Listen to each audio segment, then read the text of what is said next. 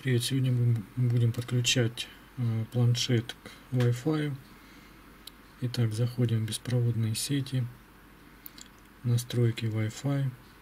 Как видим, в данном случае у нас есть сеть TP-Link. Подключаемся к ней. Необходимо ввести пароль. Так, вводим пароль. Сейчас я его введу. Так, 164 шестьдесят сто восемьдесят.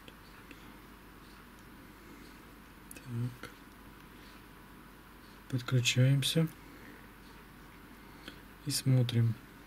Видите получается получение IP адреса. Вот сейчас идет подключение к роутеру. Вот появилась надпись подключено и вот здесь вот такой вот значок. Вот и все подключение. Все, интернет работает.